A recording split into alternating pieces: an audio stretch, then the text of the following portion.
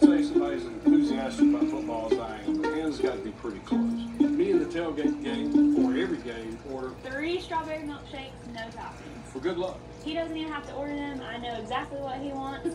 One